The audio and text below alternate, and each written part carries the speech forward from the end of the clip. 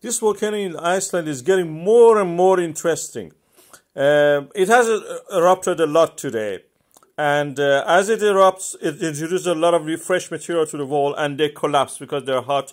The contact between them and the uh, lower material is yet hot, so they practically slide as if on a surface like a liquid surface, like ice, imagine, uh, or water, and uh, walls are collapsing the, it builds it up, then it destroys it. Building and destroying. Volcano is just doing all the time. Most of the time building, but now you see it's a rare moment. I've done this in slow motion, you can see. And it's, it's destroying again, the wall collapsed.